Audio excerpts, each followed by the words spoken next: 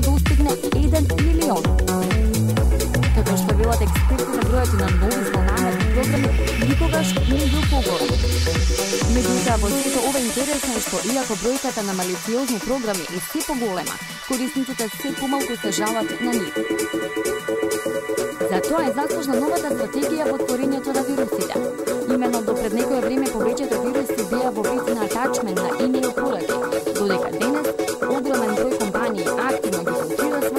своите мейл и ги за заразените пораки.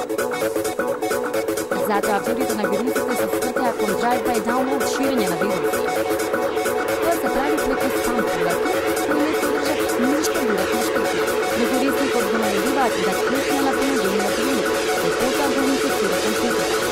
Оваквиот начин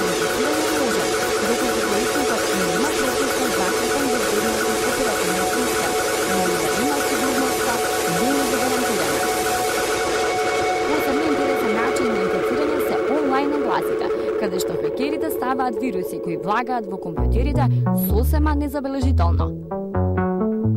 Покрај нив постојат и многу други префинети начини опасните автори на малициозни програми да го вметнат во вашиот компјутер.